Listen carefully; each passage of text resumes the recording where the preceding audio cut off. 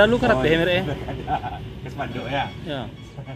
Tiga nagari di Kabupaten Pasaman Barat melaksanakan pemilihan wali nagari, yaitu Nagari Kapa di Kecamatan Luha Nanduo, Nagari Katiagan di Kecamatan Kinali, dan Nagari Sinuri, Kecamatan Talamau. Warga berdatangan untuk mencoblos yang dilaksanakan oleh kelompok penyelenggara pemungutan suara KPPS. Tata cara pelaksanaannya seperti pemilu. Sebelum dimulai, panitia membuka kotak surat suara disaksikan oleh para saksi dari kandidat wali nagari beserta panitia. Para pemilih telah diundang sebelumnya oleh KPPS. Jika ada yang tidak memperolehnya, masih bisa mencoblos dengan memperlihatkan KTP. Nah, buka dari jam 8 pagi.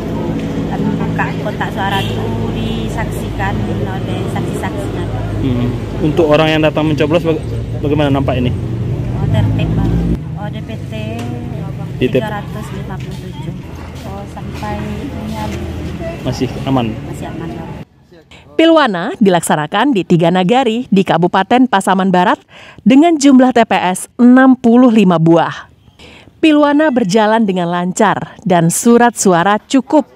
Perhitungan suara dilakukan pada hari itu juga.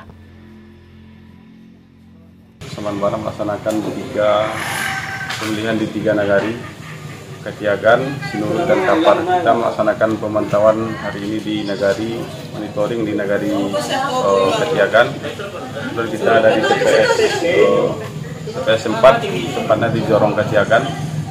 Di sini pemilihnya 253 dan tadi sudah 180-an yang sudah memilih. Hasil pantauan dan monitoring kita alhamdulillah berjalan lancar. Setelah perhitungan di TPS selesai, kegiatan Pilwana dilanjutkan dengan rapat pleno di nagari masing-masing. Safatul Ulum melaporkan dari Pasaman Barat.